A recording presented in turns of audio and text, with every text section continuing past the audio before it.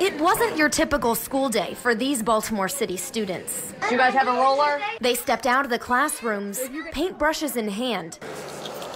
Vacant row homes, their canvas. We're painting the abandoned houses Why? because they do not look good. What are you going to paint a picture of? The idea for this community service project started in Miss Kathleen Sayers' kindergarten class.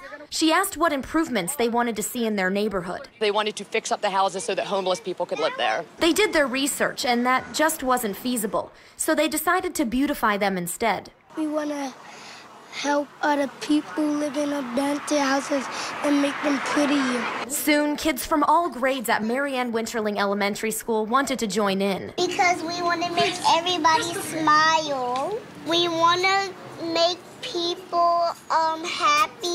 Happy and um, have houses. With the help of other teachers, volunteers, and Councilman John Bullock, they made their mark. Good work, Zayden. These kids prove you don't have to have a lot of experience to make a difference. Clearly, we have a lot of challenges in the city, not only this environment, but also the political environment that's uh, that's occurring right now. But again, they are really the future of, of this city. Things like this really empower them to realize that even though they're small, they can make a difference. And as they get older, to realize, you know, if I see something in my community or in my city that isn't going the way I want it to, to be, then I can do something to change that.